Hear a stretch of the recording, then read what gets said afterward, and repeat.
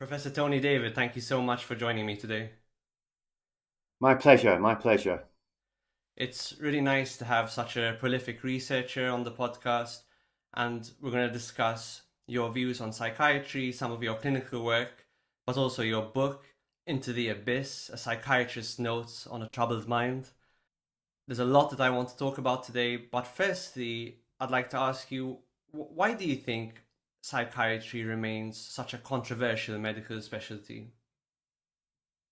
Um, well, I think it's very uh, misunderstood as a specialty.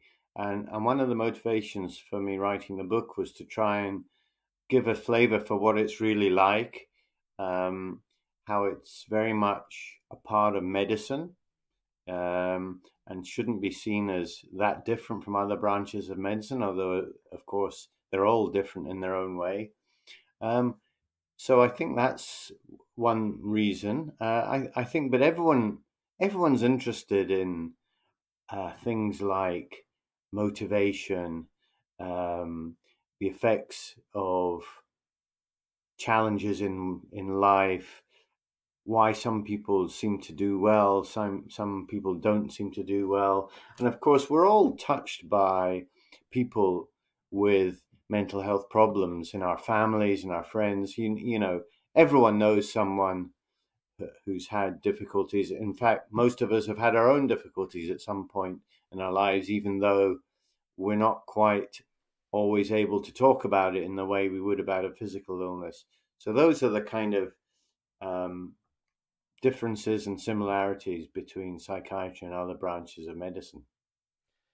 Yes, I think you're right. So, there's a combination of misunderstanding, misconceptions, but then also everyone has a stake in it. Everyone has a vested interest. So so lots of you know when I talk to people, lots of people will have an in, an inherent interest in psychiatry in the way they wouldn't have in, for example, hematology or orthopedics. Yeah. But then the misunderstandings and also I think maybe what people project onto the specialty and what people project onto psychiatrists. I think leads to a lot of controversy, but then also the, the tremendous mystery. What what do you think are the really common misconceptions people have about mental health conditions? Well, I think the main thing, eh, the main misconception is about what psychiatry is and what psychiatrists do. Um, I think they, a lot of people still have this image of the psychoanalyst with the couch, um, and an entirely uh, talking therapy based approach. And of course, talking therapies are hugely important in psychiatry. But uh, as I said before, we're a branch of medicine. Um, and I think um, that's really where most of the misunderstanding comes. And of course, it's it's our bedrock in psychiatry is the biopsychosocial approach and it's actually quite a difficult thing to convey to people. It sounds like, um, I mean, even within the profession, it can sound like, well, it means everything and it means nothing. It's kind of uh, very vague. Um, what you know, what are you trying to say when you say, well, you believe in a biopsychosocial approach?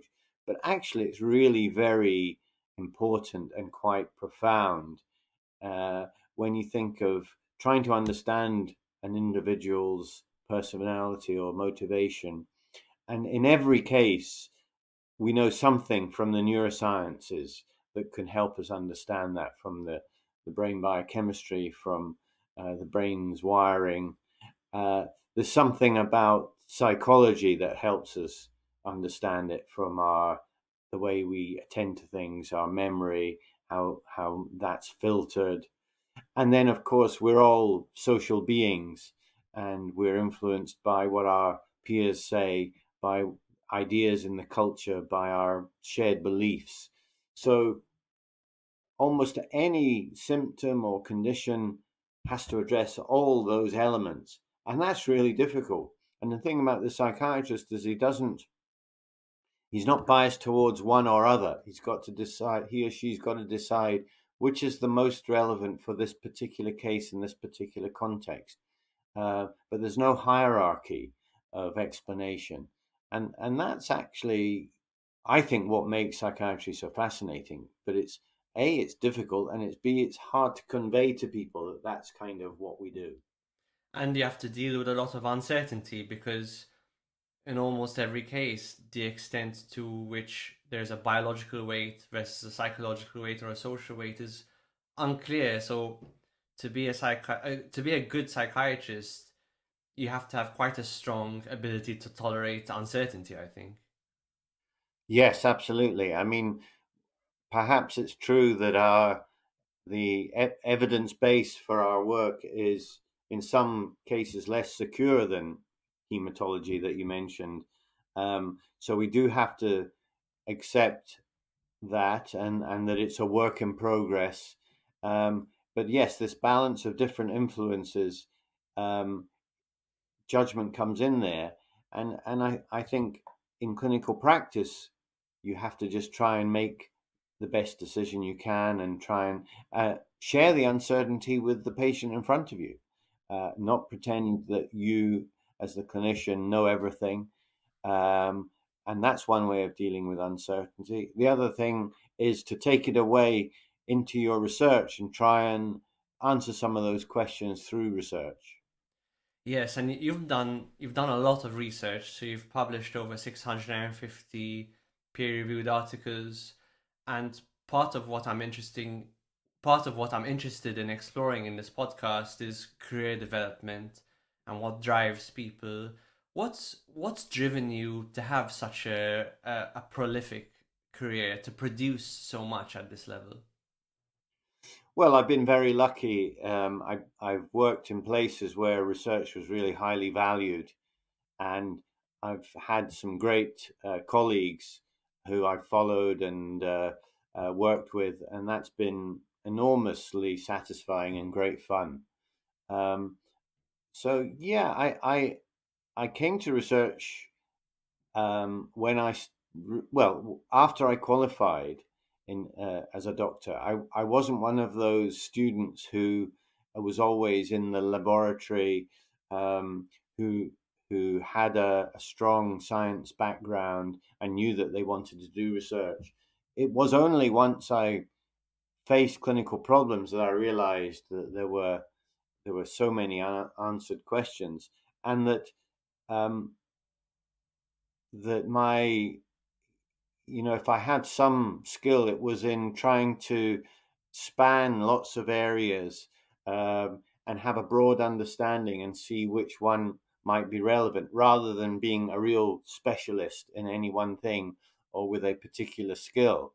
I think nowadays research has become more sort of hyper specialized. And I think one probably does need to acquire a particular skill or, or, or detailed knowledge in one area and then, you know, become part of a team that applies that to a research problem.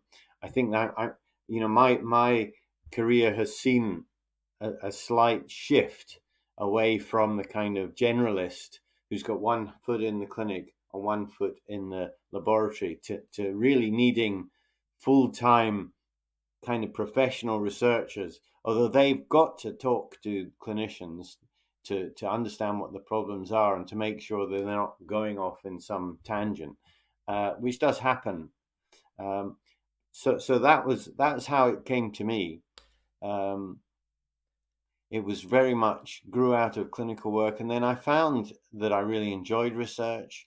As I say, just the the uh, the people I, I was lucky enough to work with, I found them just so stimulating. And the research world does have its benefits. Um, you know, traveling and, and presenting your work is, is, is tremendously exciting. And I think full time clinical work can be quite a burden um, after a while. Uh, and people often find something else to to take away from that. Sometimes people get interested in management. Sometimes they just um, develop other interests and uh, careers. But I think clinical research is a great way of dealing with it. It's a great balance between, you know, keeping your interest and your, your sort of compassion alive, uh, and also, um, you know, working in with with scientific concepts, with uh, producing data and analysis and writing it up. So t- to me, it's a perfect uh, combination. Mm-hmm.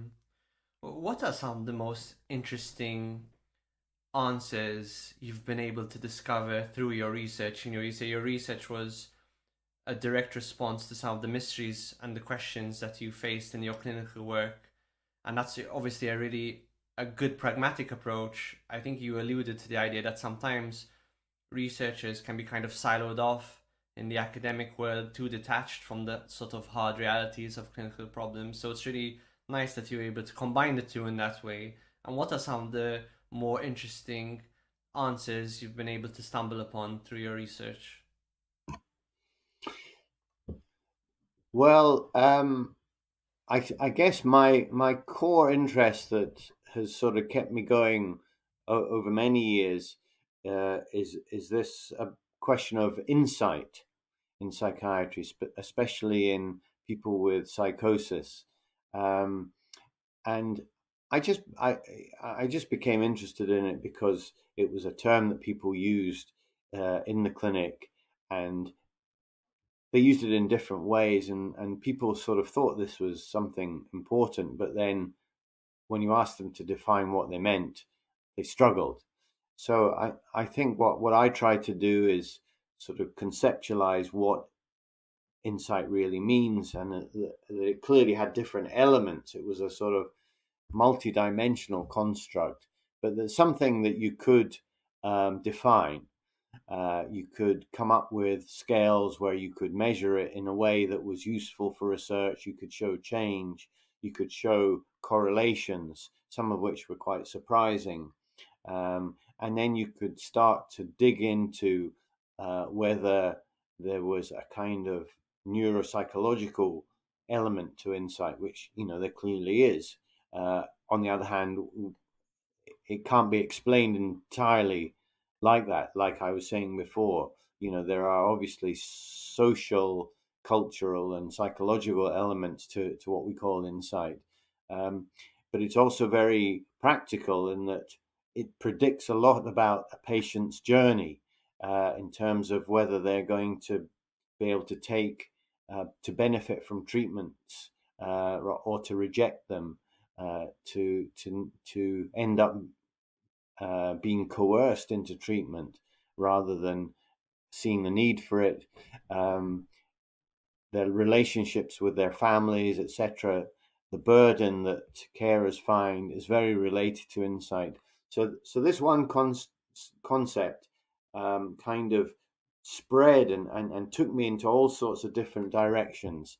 Um, so that that's every, every, one of those directions has been illuminating. Mm. Uh, so that's been a, a, a, sort of major interest in mine over the years. And how, how would you explain the concept of insight to someone who's new to psychiatry or, or someone who's a layman?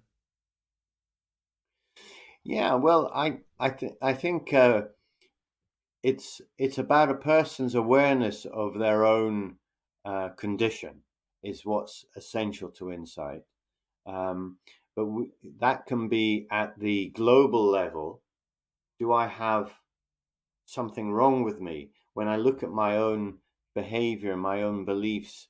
Uh, are these shared by other people? If not, are they wrong or am I wrong? Um, so trying to answer that question as an individual, I think we understand we, we start to understand what it's like uh, to to have a disorder and then to have to struggle to have insight into it, and then so that's the sort of general case. But then there's the specific cases of of say hallucinations. How do we know that something we hear or see is real? Um, and again, this is something that everyone can understand. Sometimes you wake up from a dream, and in those first few moments, you're really not sure was that a dream or did that really happen?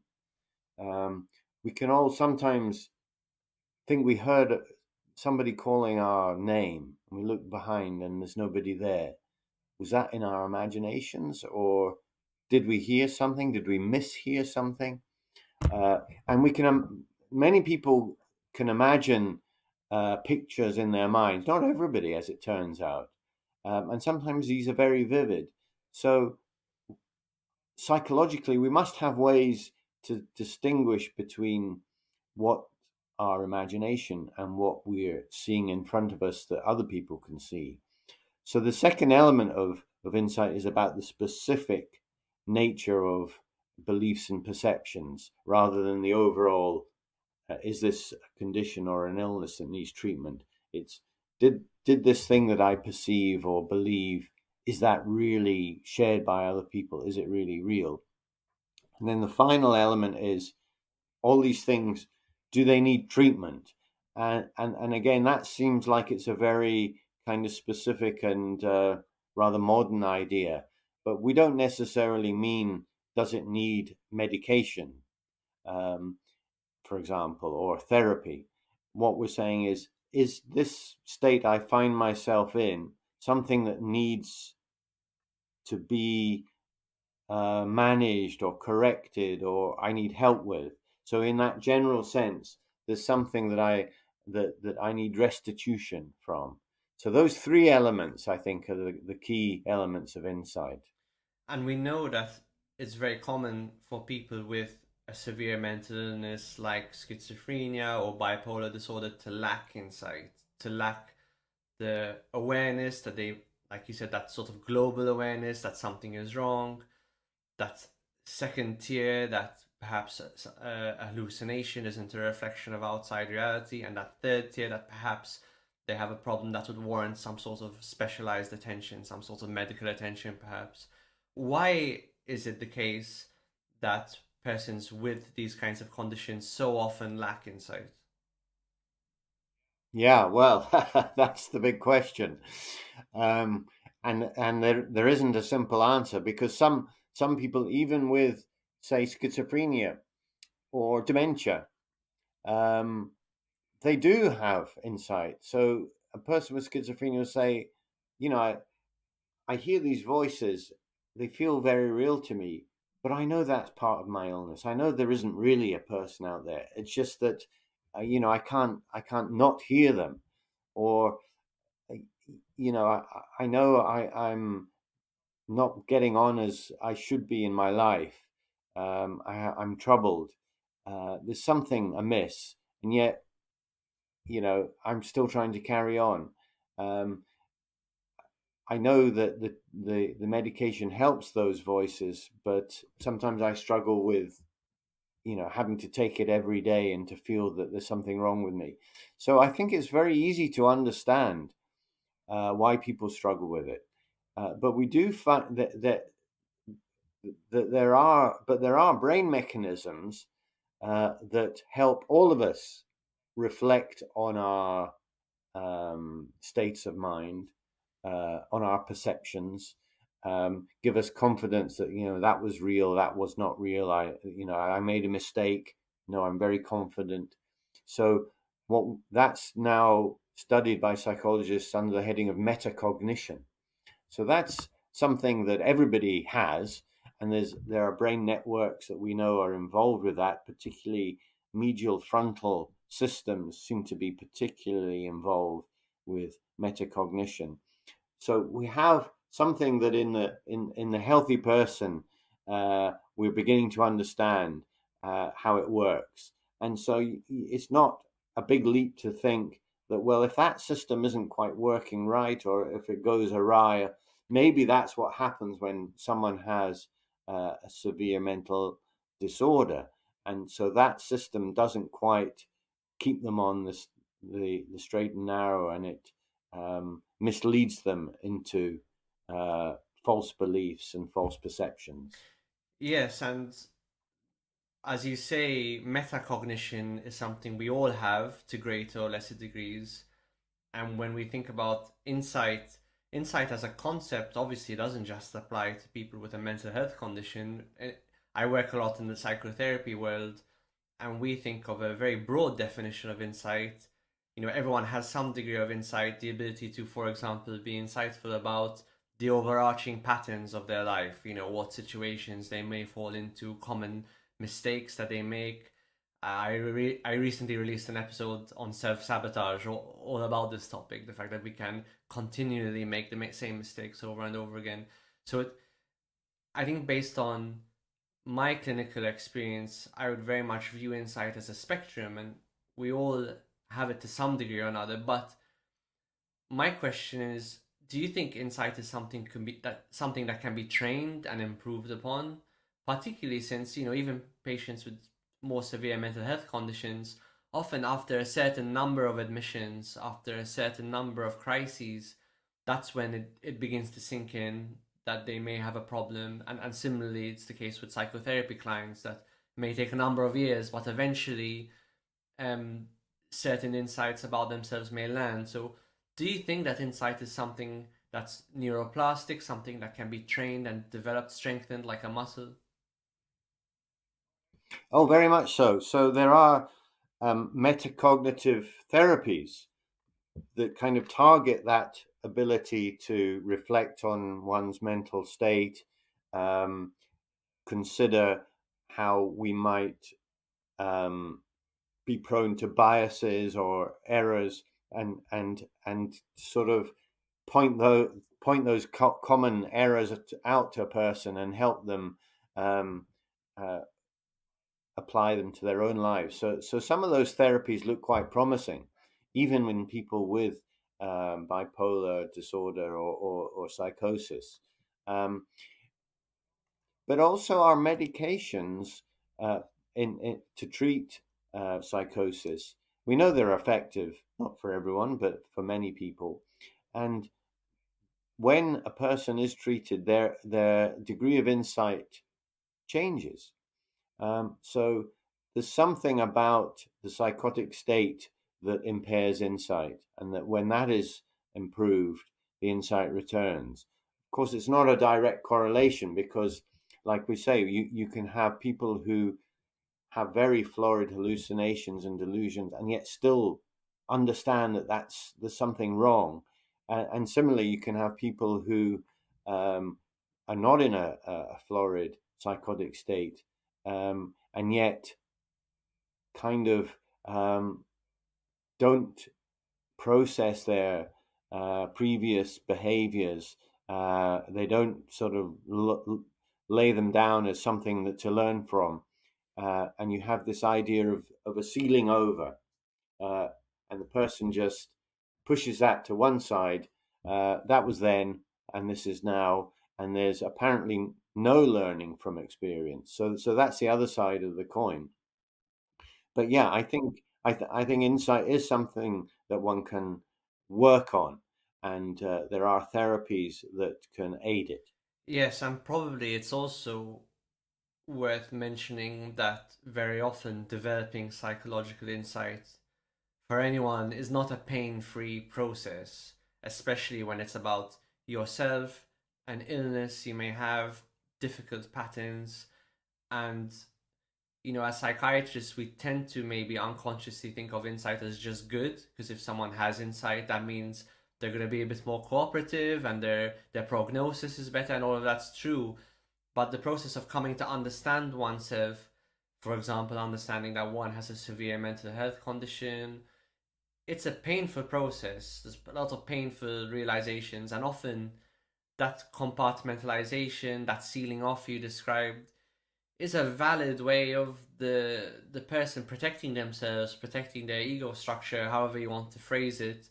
And in the short term, it can be useful because it can prevent you know a total sort of psychological breakdown. But really, it's in the medium to long term, I think, where insight really has its value and and where kind of it's worth that short term pain because it gets you that those better results over the long long arc. Yeah, I mean, Aubrey Lewis, who who founded the London Institute of Psychiatry, wrote a paper in 1934, 90 years ago, and said it that insight was a painful struggle, just as you've said, uh, because yes, we're when when we're asking a patient about insight, we're always asking them to accept something bad. I'm ill. I was wrong. You know, it's never something good.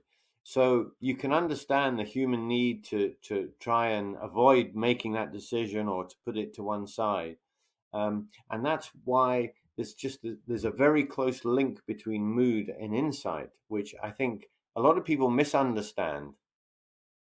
Um, so what we find is that a lower a person's mood, more depressed a person is, um, the better their insight. Now, a lot of people think they know the reason. They think, well, obviously, if you understand and accept that you have an illness, that's a very depressing thought. And that makes you rather depressed. And, you know, that's conceivable. But another way of looking at it is that when your mood is lower and you've lost the sort of um, uh, biases uh, to see the world in a overly positive way, and you're you're looking at it more realistically, what some people call depressive realism. When you're a little bit low and you're seeing the world for what it is, you then are able to see your own imperfections as well as other people's and the world's imperfections. So it's maybe it's happening the other way around that your lower mood allows you to develop insight. So that's one of the real conundrums about insight that we're still trying to understand. Yes, and that also implies that psychological health also includes a small dose of delusional optimism. And I could see that because, you know, ultimately, uh, we, we've been thinking and talking a lot about evolutionary psychology on the podcast.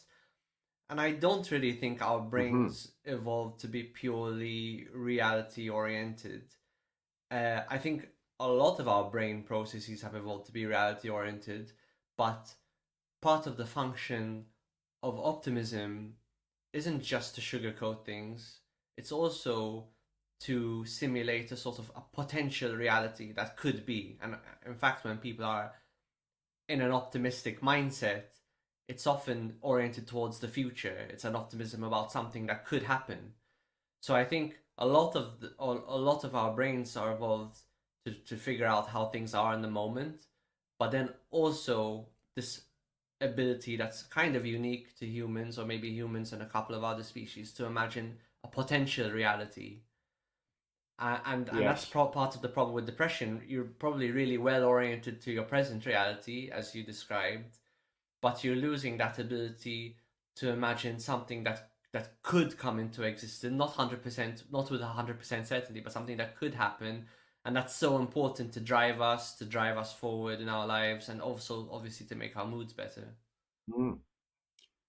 Absolutely, uh, I think that's absolutely right, um, and in fact, I think I, I try and get into that in one of the one of the cases in, my book, um, losing my religion where it is about this idea of depression um, taking away a person's ability to see a, a positive future and that being so so devastating. Yeah that was one of the most interesting cases. Do you want to just walk us through that case what, what happened yeah this was a, a patient of mine um, who had a history of depression and he developed a, a depressive disorder.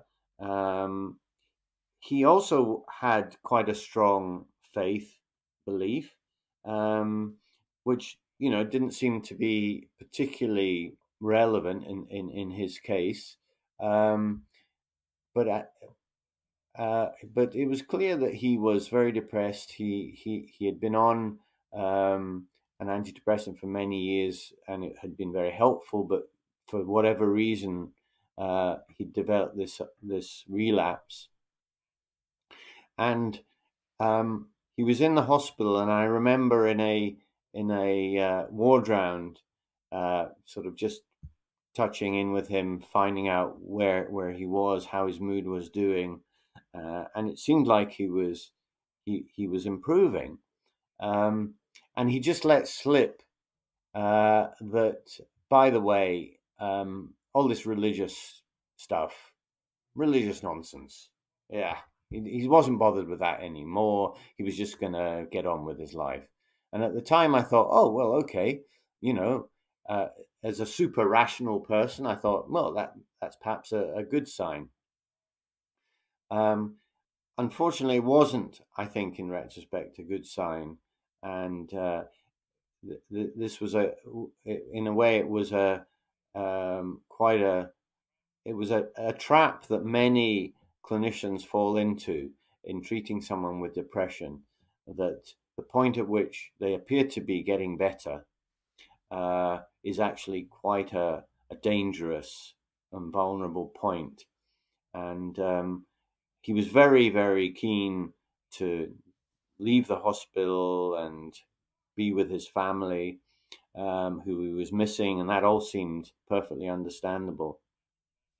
But as it turned out, on on a sort of trial period of leave, um, he took his own life. Uh, it was absolutely devastating. Obviously, uh, his family were were completely devastated, and and you know, as a clinician, I felt terribly upset and felt that uh, I'd made a bad decision, and uh, the rest of the staff similarly. Um, so it was it was a you know sorry to start on such a sort of downer but but that's the reality of our work that um, that that does happen. And it's the question is how we how we can learn from it. And i think uh, it is about understanding a person's need to conceive of a future um, and that we I was I was drawn into rereading Émile Durkheim's classic work on, on suicide, and he talked a lot about the power of religion uh, as a as a force for binding people together, uh, for giving people a, a, gen, a, sense of purpose. Now, obviously, it's not the only thing that does that, and not everyone has a religious belief. But how that that is a protection against suicide, and this is he something that Durkheim Durkheim found uh, going back 150 years, and it's probably still true today. So um, you know that was that was uh, a rather sad story, but hopefully one that we can learn from. Yeah, so I guess the lesson from that case is that a, a patient can change in a way that to us looks great. You know, if we're super rational, if we're not so religious ourselves, mm. doesn't seem like a big deal. But what happened with that patient is, for one reason or, or another, he, he lost a huge part of his meaning structure, his way of making meaning of his life, his past, and poten- potentially potentially his future. I guess. Exactly. Yeah. Yeah.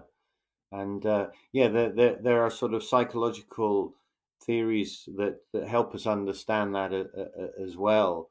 Um, the idea of a overly generalized memory, where um, if you were asked to think of some happy events in your past, a uh, person who's rather depressed or at risk of suicide will will only be able to produce general kind of memories. Yes, I, I, I remember, you know, when I was at college being a bit lonely or being quite happy rather than, oh, there was that time that we went to the park and we had a picnic and it rained and it was, you know, um, those sort of specific memories are much more useful when you're trying to say, what's the purpose of my life? Where, where am I going? If you can draw on those specific instances, they're really powerful, uh, even negative ones.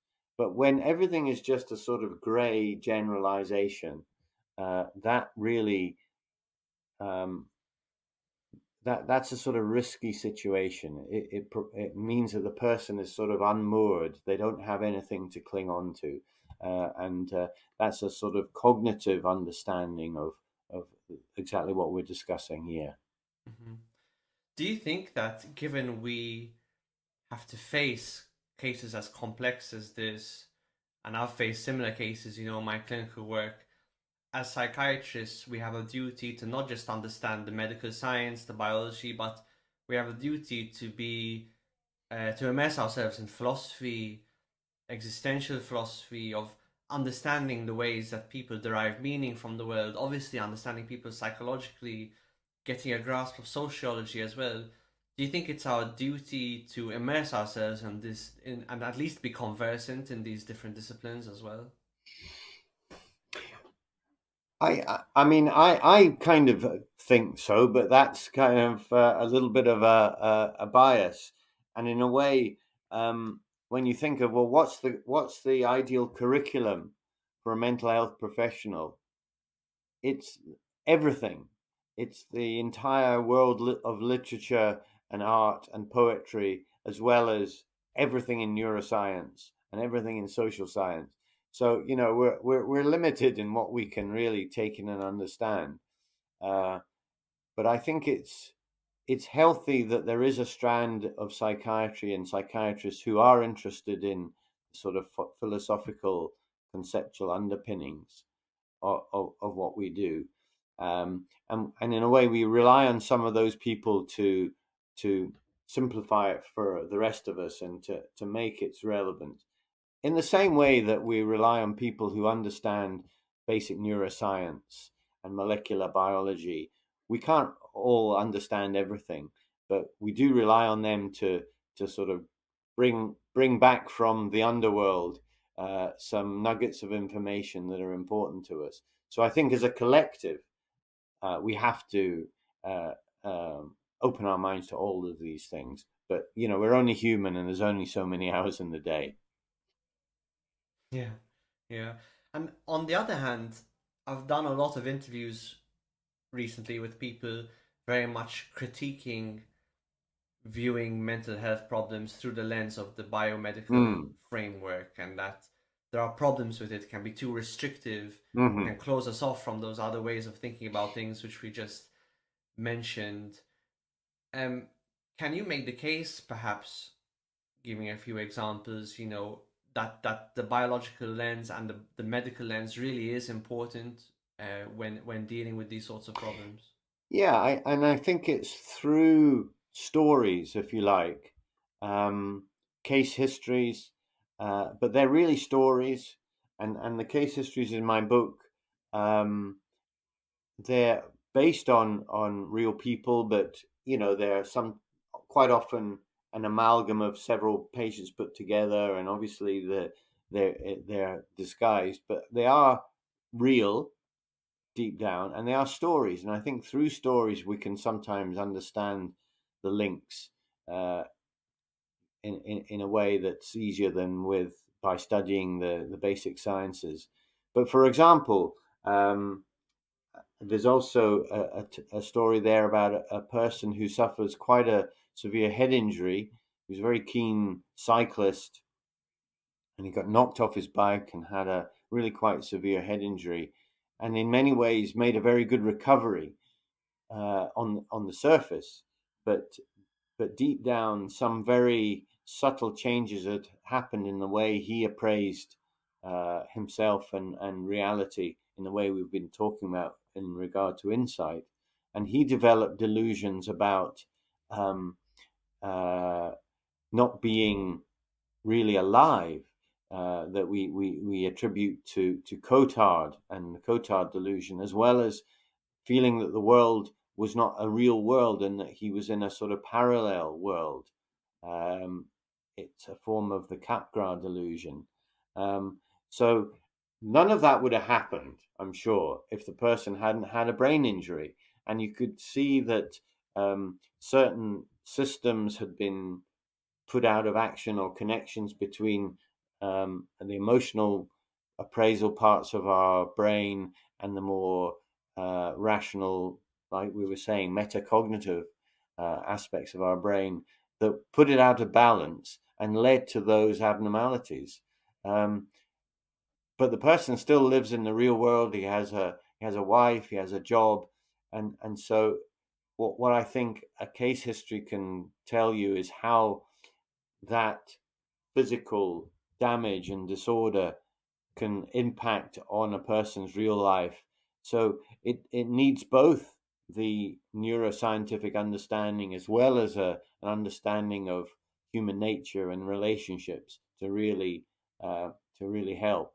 And, and in that case, uh, it was a kind of psychological cognitive behavioral approach that was tried to bolster um, the kind of reality testing uh, that was somewhat helpful in his case in the end.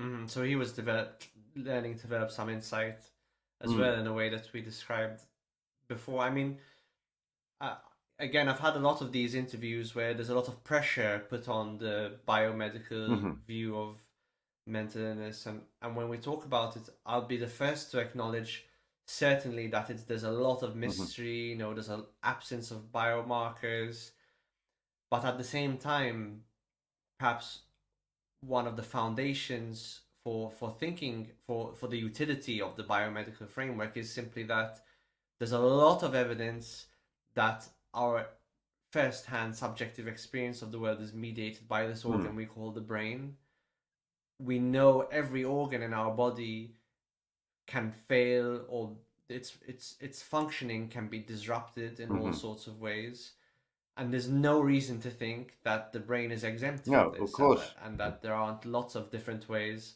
that the that the brain can't that its function can't be disrupted uh, and that that would obviously affect our first person subjective experience even if we don't fully understand the mechanism that that's in principle is what is happening uh, makes a lot makes a lot of, of sense of course i mean i mean i can i can look in the in in in in this in the in the book um and there's another case um that i call you are what you eat um and to, to cut a long story short this is this is a, a rather unusual case, uh, but in the end, it's a, a person who has an eating disorder. Now, I think that's a good a good example for what you're saying. So we know very much that the way uh, the way we eat, the way we look at our bodies and our body shape is hugely influenced by culture and societal expectations and how that it's different for, for men and women and, and these are very, very powerful uh, forces. But equally, the uh, biological control of appetite uh, is again absolutely fundamental. It goes, you know, obviously, no animal would survive uh, if it didn't have a very strong inbuilt control of its appetite and eating. Uh, so here you have I think, the perfect sort of example of how you can't really understand one without understanding the other. Mm-hmm, mm-hmm. Now, let's take the opposite point of view. Where do you think the biomedical model of mental illness overreaches? Uh, where are, where is it too restrictive, or where is it not the best way of understanding a problem? Do you think?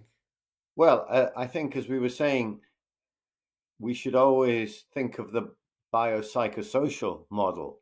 And uh, when people talk about biomedical, uh, it's a kind of slightly loaded term. And it comes out particularly in cases where there's a, uh, it, where there's a contested view about the cause of the condition.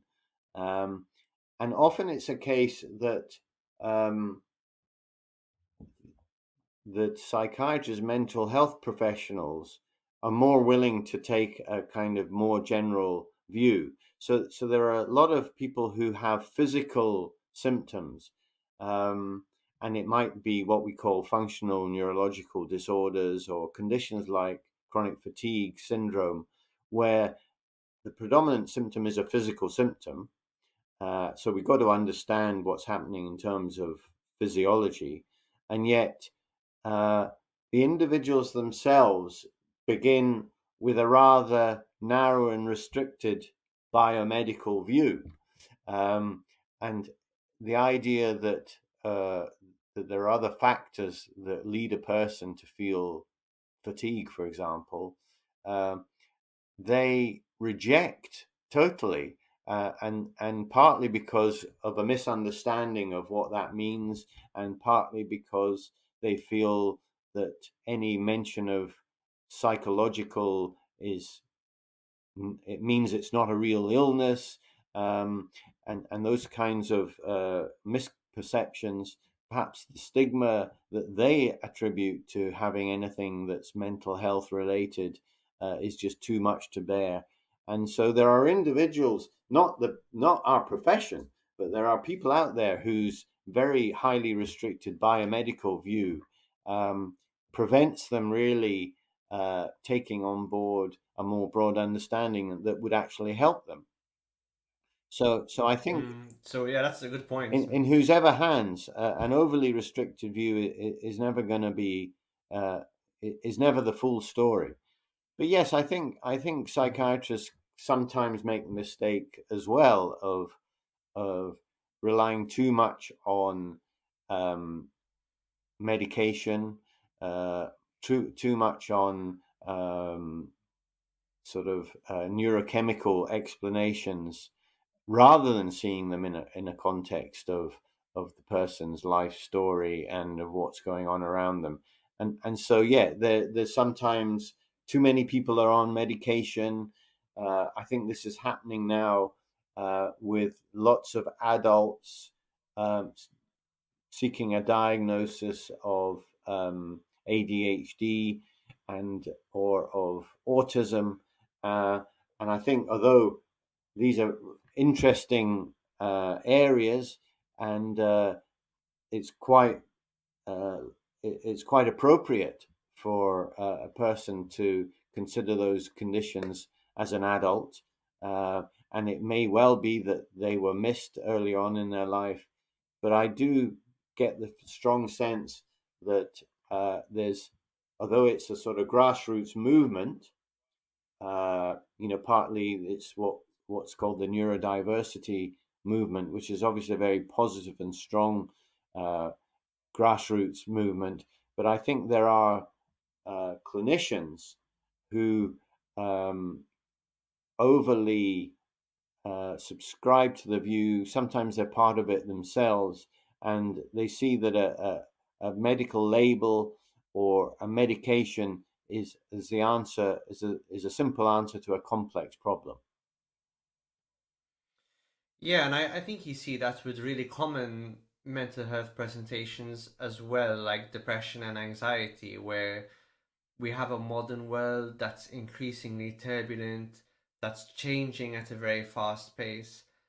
There are many factors in society which, if you just look at them on paper, you can see why they would cause a lot of mental distress. Mm. You know, we're living a more isolated, atomized existence our food landscape of the past few decades is unrecognizable. Mm.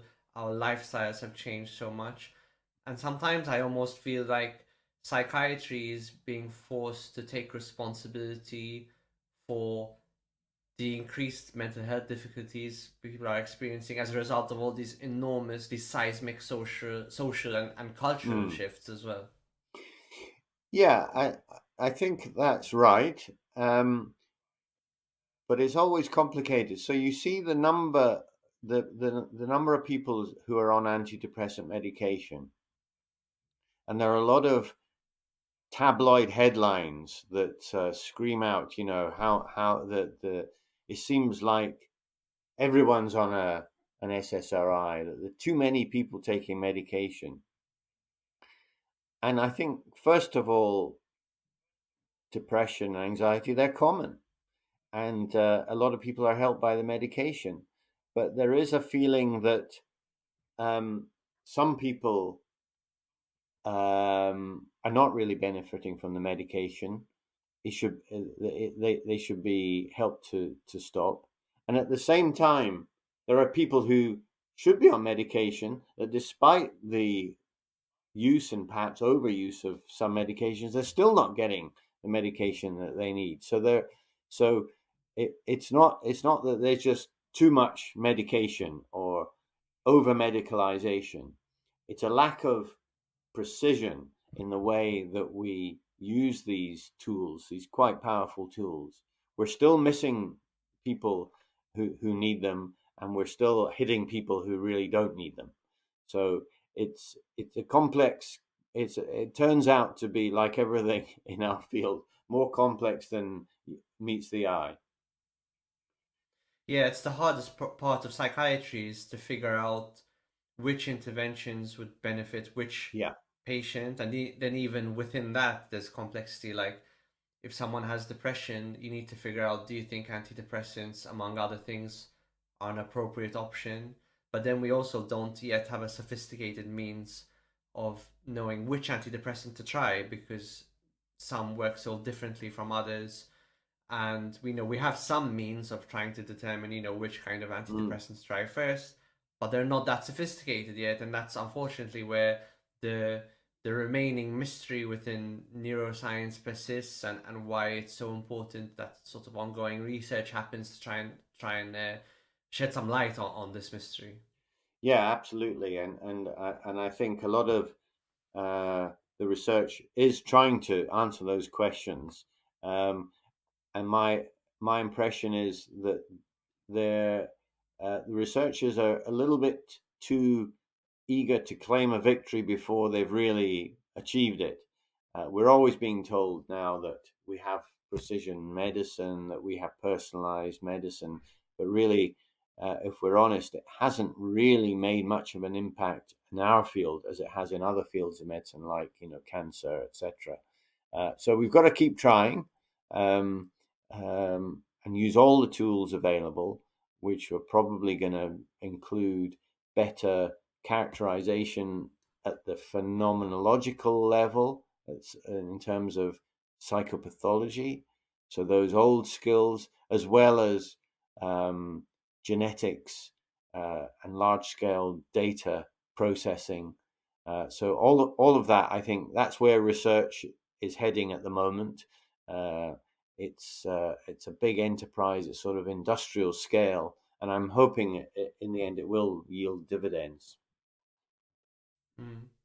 Early in your book, you mentioned the Scottish psychiatrist R.D. Laing as being an uh, early influence for you what what do you think is the value of his work, and why should young training mental health professionals still read R.D. Laing? Yeah, um, he he was a sort of hero of mine, and and I went to the same university, Glasgow University, um, and he was a kind of uh, because he was a radical and a, and a, a critic against the establishment um, you know, I fell for that. We we we, we all uh, are attracted to that, I think. Uh, but even later, when you can sort of t- sit back and perhaps reread some of those early works, you you can see that there's some amazing insights in in there. Uh, his ability to really unpack delusions and see them in their context um, in terms of uh, a person's sense of self that we were talking about a bit earlier. I think those were really they, they they've lasted uh, the test of time.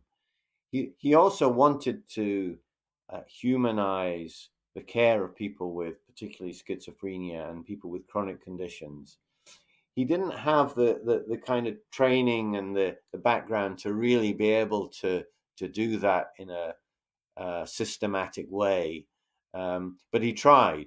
He he tried his best, and and they had some experimental uh, wards setups um, that were much less restrictive and uh, more humanizing.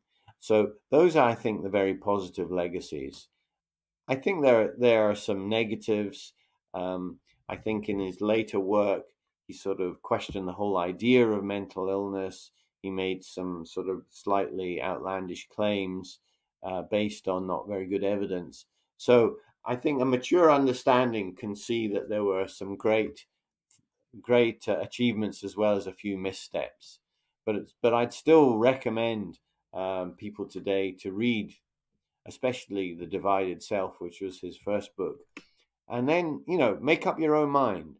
See whether there are things in there that you you think uh, really uh, enlighten you and other things that perhaps you think well that doesn't really stand up today. So importantly you mentioned the humanizing of people with conditions like schizophrenia psychosis but also and i guess Laing goes into this in the divided self the decision as a psychiatrist to view someone's psychotic symptoms such as hallucinations or the nature of their delusions, as an important set of data that you can use to understand the person's psychology, to understand where they're coming from. Like, there might be a reason that someone's having a grandiose delusion, for example, that they think they're uniquely gifted or that they're a prophet, versus someone else who has a paranoid delusion that people are against them. That these aren't just the kind of uh, manifestations of a diseased brain, but they provide important clues as to a person's sense of self and and how they feel they exist in the world. Is am I am I getting that correctly? I think that's that's a, a, a fair description, and and yes, uh, he drew on existential philosophy to try and understand what the person was saying in that context, rather than just saying this is just madness. Um, and I think that was a, a very brave and brilliant step I think now we, we can use cognitive science and, and cognitive psychology uh, to give us another kind of perspective in terms of like what we were saying before reality testing in terms of metacognition um, that also gives us a way of understanding for example hallucinations and delusions without just saying it's just rubbish it's just bad data uh, there's something it, it's telling us about how all of our minds work and how that it can sometimes take a, a turn. So, so I think that that's a very valuable uh, lesson that we, we can take from him. Mm-hmm. I'd like to end talking a little bit about neuropsychiatry. You're a neuropsychiatrist. What's the what's the difference between being a neuropsychiatrist and a psychiatrist? What kind of patients or conditions do you see commonly? Mm-hmm. Yeah, I mean, I think it's it's a it's an, a small area of psychiatry in clinical practice, although its implications for the whole of psychiatry, I think, are very deep. Um, but you could say it's the area of overlap between neurology and psychiatry. So it's the area where people with neurological conditions have prominent mental health problems and that uh, the neuropsychiatrist has to be uh, reasonably up to date and informed about neurological conditions, especially uh, uh brain conditions, and how they might give rise to uh, psychopathology. Uh, and then accepting that the treatment approach might have to be slightly different, might not be, but it might be. So it's that that that's the kind of main overlap. But then there is this other group of people who appear to have a neurological condition and whose main symptoms are in the realm of neurological conditions weakness, paralysis, blindness. But they don't seem to have a structural cause in their central nervous system that explains it. And, and that's the area of functional neurological disorders. So, so the neuropsychiatrist uh, has to deal with both you might say they're both extremes, um, and and it it does it does create a really interesting area of clinical practice and research. Uh, but I say its implications beyond that are, are, much much wider. I mean, I'm. I mean, it, the, the the interesting thing is that even in in the UK, uh, there are quite there's quite a few, only a few practicing neuropsychiatrists, whereas the potential need is, is really great. And uh, I'm at the moment the, the president of the International Neuropsychiatry Association. And there are people in other areas of the world, uh, some lower income com- countries, where there's one or two people who are the only neuropsychiatrists in the whole uh, country. Uh, and, and, and there's a real need to, to support them and help them with training and, and uh, uh, other kinds of support. Uh, but but yeah, it, it makes for a fascinating area of of work. Mm-hmm. So that second uh, extreme that neuropsychiatrists deal with, where people have sympt- a symptom or symptoms that seem very neurological, like paralysis of a limb or blindness, as you mentioned. Uh, that's called functional neurological disorder. That used to be called conversion disorder back in the day. The idea that a psychological problem is converted into a physical symptom. Is that still the thinking that it is as psychology converted to to to a physical experience, or has the thinking changed? Yeah, I think the thinking has changed, but that that remnant of that old idea going back to Freud, that that still lingers on. But I think we do have a bit of a broader understanding um, that a per, it, it we don't really see these as psychological conditions, but again, uh, a mixture, a biopsychosocial mixture, and that um, the way uh, we deal with feedback from our body. Uh, so the sense that we are, um, the sense of effort that we have when we try and raise our hand or lift a limb, something's gone wrong with that feedback system, perhaps. So the person says, "Well, I'm trying to move my limb, but it's just not working." So that you know what's going wrong there, or or the person with a, a sensory deficit who um, the physiological tests show that uh, the brain is reacting to the uh, external sim- stimulus as you would imagine, but the person's conscious experience is different from that. So really pushes the boundaries of, of what uh, neuroscience can understand. But we find in that higher rates of, of other kinds of uh, ordinary, if you like, psychopathology, depression, and anxiety.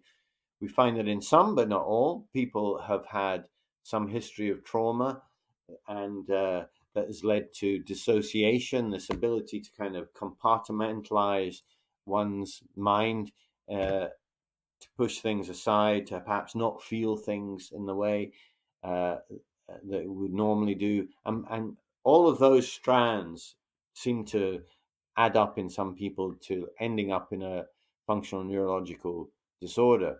But what we find is rather than trying to seek out some mystery uh, psychological explanation or trauma, as would be in the Freudian days, uh, I think just understanding physiological mechanisms and retraining an individual to learn more about the feedback from their body, uh, to find different ways of um, motor programs for moving and walking uh, in the way that people with Parkinson's disease can sometimes carry out uh, complex activities uh, when it's uh, when it's just um, kind of automatic, but they can't do it when they set down to do it. Um, the same things apply to people with functional and neurological problems, and using those insights, I think, uh, we can really uh, lead to some very dramatic uh, recoveries. Okay, so in your experience, then the best approach is actually not to approach it from a depth psychology point of view, a trauma point of view, but rather just to to retrain those physiological feedback mechanisms as you described. That that's what the the evidence suggests. Yeah, that's right. First of all, there may not be that hidden trauma.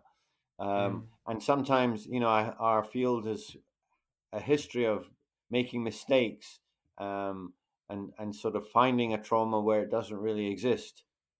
We do that as often as missing ones that do exist. So, uh, but that doesn't seem to be the key to recovery or helping a person recovery uh, recover. Of course, there may be a time later when a person wants to talk more about their psychological life as well as their physical life. But the, the, the priority is to get the person, you know, out of bed or moving again or seeing again. And that doesn't require in depth psychology. Mm-hmm. Mm-hmm. mm-hmm. Um, what, in terms of just your general approach to patients, you know, what would you tell a training mental health professional? Some of the maybe more poignant lessons you've learned about how to approach patients in general. Well, um, you know, I obviously I like I enjoy mentoring and and and, and teaching people, but uh, I don't feel that I've got some you know, particular um, sort of uh, truths that I need to impart. I think there's a there's a I, I think I benefited from a really good training uh, where um, what we what we used to do was uh, record ourselves, video record ourselves talking to a patient, obviously with their with their permission, and then we'd show those back to the class, and it could be quite excruciating sometimes. But because everybody did it, it, it felt good, and you could just see where you were missing things, where you had said something clumsily, um, or when something you said that you didn't really think much about really made a, a positive impact. So I think it's it's about being incredibly reflective of what you're doing, uh, being very open to feedback and, and criticism, and see it see it as a sort of continual learning process. So I think that's the key to being a mental health professional. Yeah, definitely, and I advocate recording yourself, role playing with your colleagues, and videotaping yeah. that. I mean, I've even learned through the process of doing this podcast, recording myself on audio and video, talk about painful insight. It's extremely painful at times, but yeah. extremely useful because it's this continual process of identifying the, the mistakes that you make commonly, which just yeah. makes it so much so much easier to correct. Uh, Professor Tony David, thank you so much for joining me today. Into the Abyss, uh, psychiatrist notes on a troubled mind. I'd recommend whether you're a member of the public, someone training in mental health, or if you're qualified. Very accessible. It's kind of how I designed the podcast in a way accessible so that anyone can get something from it, but at the same time does not sacrifice depth. You go into a lot of depth. You will come out of reading that book very, very, um, with some really useful insights, very, very fascinating case studies. Thank you so much for talking to, to me today. Well, thanks very much for those kind words, and it's been it's been a pleasure. Thank you.